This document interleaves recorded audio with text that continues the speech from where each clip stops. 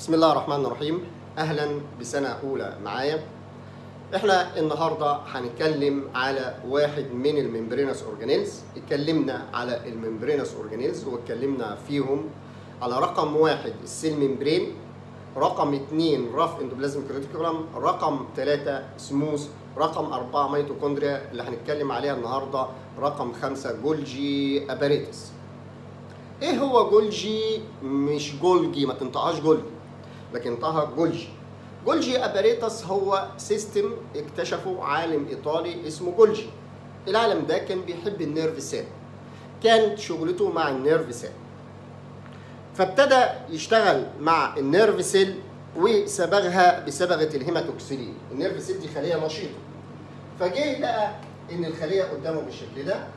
لما بص لل nerve cells بال hematoxylin and eosin صبغه ال hematoxylin and eosin لقى ال nucleus بتاعتها pale هنعرف يعني إيه pale يعني خليه نشيطة. والسيتوبلازم بتاعها basophilic. يعني إيه basophilic؟ يعني لون أحمر داخل عليه اللون الأزرق بالشكل ده. آدي السيتوبلازم بالشكل ده. وداخل عليها اللون الأزرق. فبقول عليها basophilic cytoplasm بس. هنا ما لقاش كل المنطقة فيها السيتوبلازم لا في منطقة حوالين النواة not stained حوالين ال nucleus not stained يبقى لقى هنا منطقة حوالين ال nucleus not stained وده السيتوبلازم basophilic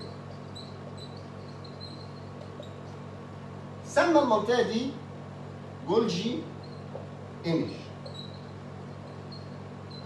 يعني قال لك هي فيها حاجة بس أنا مش شايفها أنا شايف خيالها فإذا معايا negative Golgi image يبقى إيه هو ال negative Golgi image هي empty space يعني إيه empty space فراغ فاضي.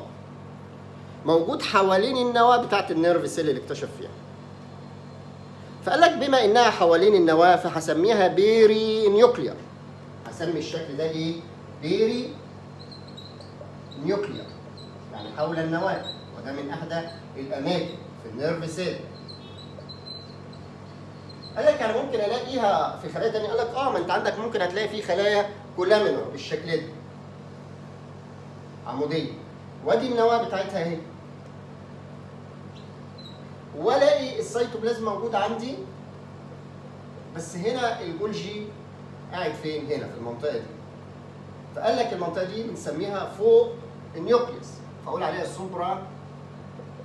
supra nucleus ده مكان جولجي أو العكس إن أنا ممكن ال nucleus تبقى موجودة فوق كده وألاقي جولجي قاعد هنا. يبقى ده تحت النواة. أقول عليها infra nucleus يبقى إما فوق النواة supra تحت النواة infra حوالين النواة peri يعني ده ال site بتاع مين؟ جولجي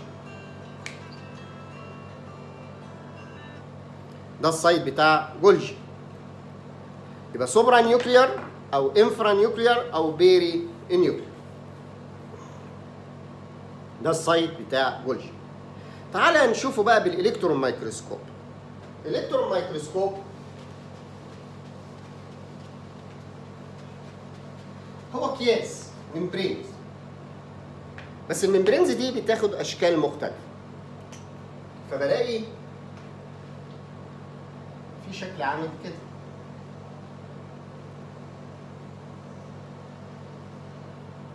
ده كيس واخد الشكل ده.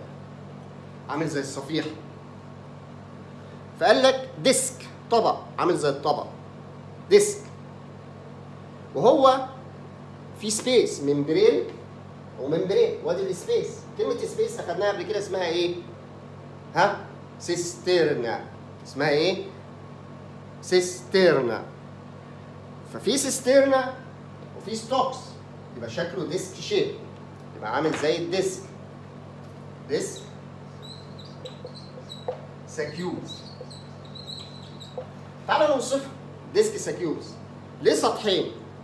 سطح مقعر وسطح محدب. سطح مقعر وسطح محدب المقعر هسميه أو ال surface بتاعه هسميه exit surface وده هنسميه دخول هسميه entry surface ال exit surface ده بنقول عليه concave يعني إيه concave يعني مقعر وده بقول عليه ال entry محدب فبقول عليه convex يبقى ده concave وده convex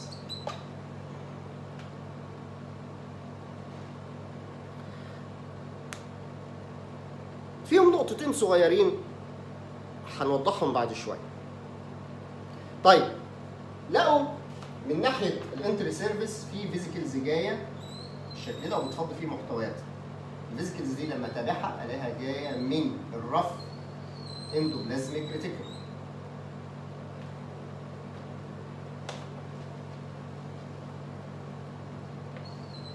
ده rough endoplasmic reticulum أهو. عليه ال ribosomes. rough endoplasmic reticulum عليه ال ribosomes.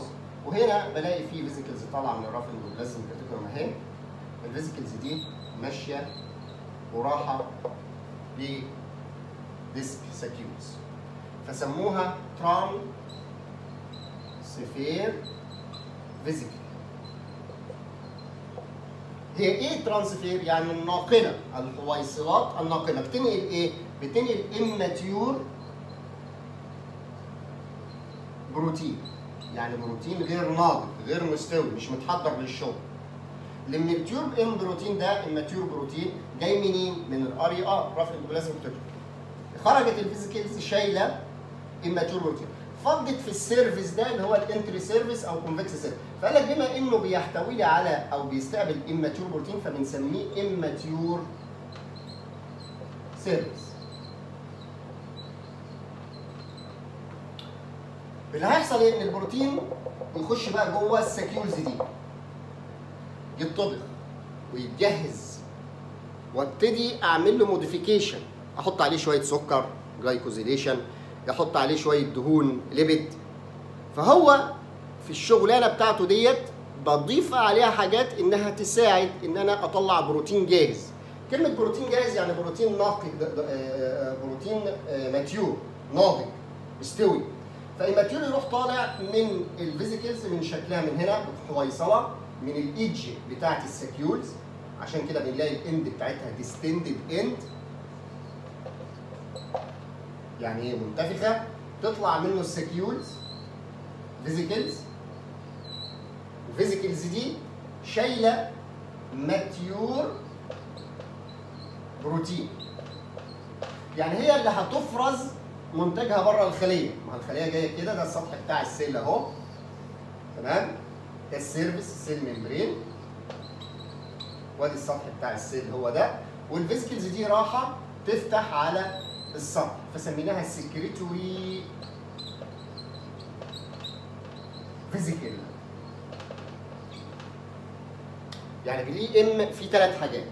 رقم واحد disc saccules رقم اثنين transfer vesicles أو sac رقم ثلاثة secretory vesicle يبقى ده طلع mature. فقال لك هسمي بقى ممكن بدل exit و convex أقول عليه mature surface تاني. يبقى ثلاث حاجات موجودة عندي. رقم واحد. disc saccules ليها سطحين. سطح مقعر سطح محدب. concave convex لقوا السطح ده بيطلع منه حاجة اللي هي بنسميها عرفناها اسمها secretory vesicle فنسميه exit خروج. وهنا داخل ليه حاجة اللي هي عرفنا إنها transfer vesicle فسموه entry surface ال edges بتاعت ال saccules dilated لقوا من ناحية ال entry surface جاية saccules شايلة ال immature protein من ال rER وراح تصب فين؟ في ال saccules لقينا من ال surface الثاني اللي هو ال exit طالع منه saccules فيها mature protein. هنديها أغمق شوية لأنها عبارة عن مش بروتين بس ده بروتين ومعاه مون فبسميها secretory vesicles ده رقم ثلاثة يبقى ثلاث حاجات عندك موجودة في الكتاب. several disc يعني هو مش واحد بس ده بلاقيه كذا واحد يعني ممكن واحد تاني جاي كده واحد جاي كده. جاي كده فبنقول عليها several كذا واحد متعدد. آه في transfer vesicle وفي secretory vesicles ال secretory vesicles شايلة modified protein يعني بروتين تحور علشان آه يخرج من الخلية ك secretory granules طب إيه فايدة جولجي أول حاجة إن هو بيكون ال carbohydrate and lipoprotein يبقى synthesis تكوين ال carbohydrate and lipoprotein بيكون حاجة هنعرفها المحاضره الجاية اسمها lysosomes بيكون أو بيعمل modification لل cell product إن زي ما قال شوية إن أنا أحط شوية fatty acid شوية دهون أحط شوية sulfur sulfation أحط شوية جلوكوز glycosylation وأعمل concentration تسبيكة package أركز أغلف المنتج ويطلع لي ك secretory vesicles بص معايا هنا وال secretory vesicles هي طالعة وراح تخرج من السطح بتاع الخلية. أنا هنا ليه رسمته باللون الازرق لأن تركيبته تشبه ال cell membrane وال vesicles تشبه ال cell membrane فلما تفتح هنا وتطلع المنتج بتاعها بره فال membrane الجديد ده اللي هو جاي من ال vesicle يخش في تركيبة ال membrane بتاع ال cell membrane الأساسي. فأنا هنا بعمل عملية تجديد لل cell membrane عن طريق ال exocytosis خروج ال vesicle فبقول recycling and redistribution of the cell membrane إن هو بيعمل تجديد وإعادة توزيع تاني لل cell membrane بحيث إن أنا بجدده كل شوية أهو من ال vesicle طالع وابتدى يطلع cell membrane ال vesicle نفسها وال cell membrane بتخش في تكوين الإيه؟ الخلية اللي هي موجودة عندنا في ال cell membrane يبقى ده كان ال Golgi apparatus وعلى فكرة هو في الصبغه بتاعته إحنا قلنا ما بشوفهوش بال hematoxylin and eosin. قال لك ممكن أستخدم special stain silver بقول عليها silver impregnation. كلمة impregnation يعني تشبع بالفضة. silver يعني فضة. فقال لك هحط الفضة على الخلية فمش هصبغها بال hematoxylin and eosin. فهنتخيل القلم ده باللون البني فمش سيتوبلازم مش هيتسبغ ألاقي السيتوبلازم أبيض وألاقي مكان ال nucleus أبيض ولكن جولجي موجود عندنا وده صورة موجودة عندكم في الأطلس بتاع ال histology ان أنت هنبص مع بعض هنا في الأطلس هلاقي موجود Golgi stained by silver اللي هو ده في ال nerve cell. أهو لو بصينا هنلاقيها الصبغه كلها باللون ال brown. لو أخدت الدايرة دي كده دي cell الدايره دي cell دي cell ديت cell. ال cell دي أمسكها ألاقي مكان ال nucleus لونها أبيض ما بتستبغش بال silver.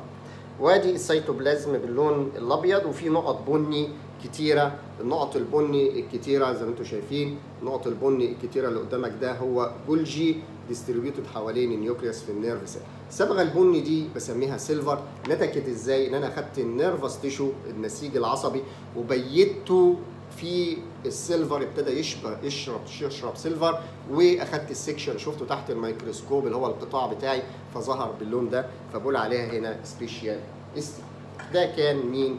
Golgi apparatus thank you very much